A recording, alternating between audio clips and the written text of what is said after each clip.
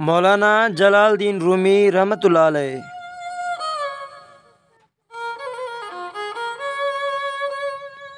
हिन बुज़ुर्ग जो इस्म गिरामी मुहम्मद लक़ब जलालुद्दीन ऐं शोहरत मौलाना रूम जे उनवान सां आहे। सदन सिलसिला नसब सैदना सिद्दीक़ अकबर रज़ी अलाह अनह सां मिले थो।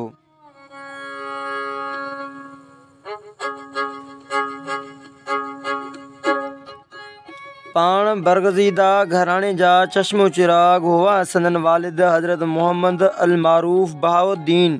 पंहिंजे ज़माने जो कामिल वली हो।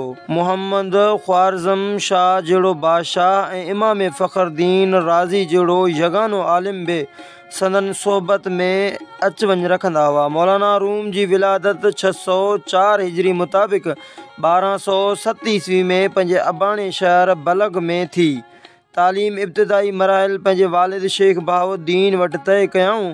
तंहिंखां पोइ संदन वालिद पंहिंजे हिकु मुरीद सैयद बुरहानदीन मुहक़ जेको पंहिंजे ज़माने जे तमामु वॾनि आलिमनि ऐं फ़ाज़िलनि हो, उन वटि खेनि तहसील तालीम लाइ विहारियो।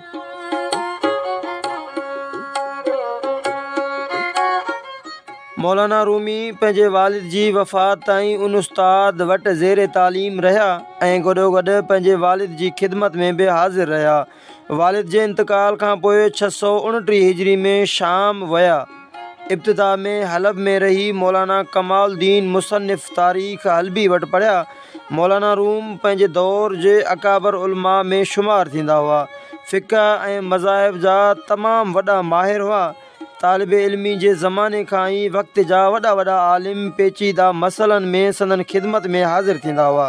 पंहिंजे वाल साहिब जे वफ़ात बाद सैद बुरहानदीन खेनि ई पंहिंजो मुर्शिद तस्लीम कंदा हुआ। खाइनि बाद शम्स तबरेज़ सां बैत थी।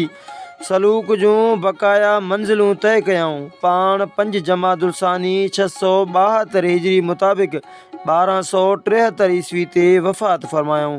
संदन मज़ार कोनिया शहर तुर्की में आहे। संदन तसनीफ़ात में फ़या माफ़िया, मकतूबात जो मजमू, दीवान ऐं मसनवी शामिल ॿियनि किताबनि जी भेट में मसनवी मौलाना रूम जी मक़बूल तरीन तसनीफ़